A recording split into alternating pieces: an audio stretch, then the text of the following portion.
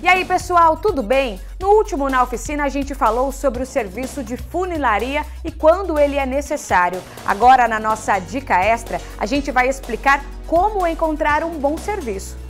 Ao procurar uma funilaria para fazer o serviço, caso você já tenha seguro, eles costumam indicar a, as, com as melhores avaliações, tudo. Caso você não tenha, procure uma de qualidade, que tenha profissionais é, gabaritados nesse assunto, pois é um assunto complexo. É, a pintura, muitas vezes, exige uma cabine de pintura para que você faça esse tipo, para que não fique respingos de tinta ou nem poeira de outros serviços possa atingir o seu veículo. É sempre bom que o consumidor dê uma olhada também a hora de chegar na funilaria. É, muitas funilarias utilizam um papel adequado, fita adequada para estar tá cobrindo as outras partes do seu veículo que não vão é, ser arrumadas, não vão ser consertadas na funilaria. Então é sempre bom olhar a higiene, o local adequado e, é lógico, a organização.